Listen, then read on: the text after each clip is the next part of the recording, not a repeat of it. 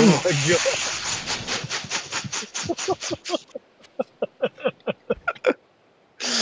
Oh no.